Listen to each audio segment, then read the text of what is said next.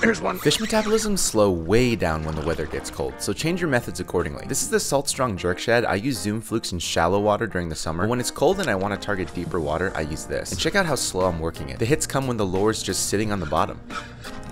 There's one. That was such a subtle bite. These jerk shads have an unlimited buy one get one free promotion right now, meaning you can literally buy 50 packs and get another 50 for free. Link in the comments, no code needed.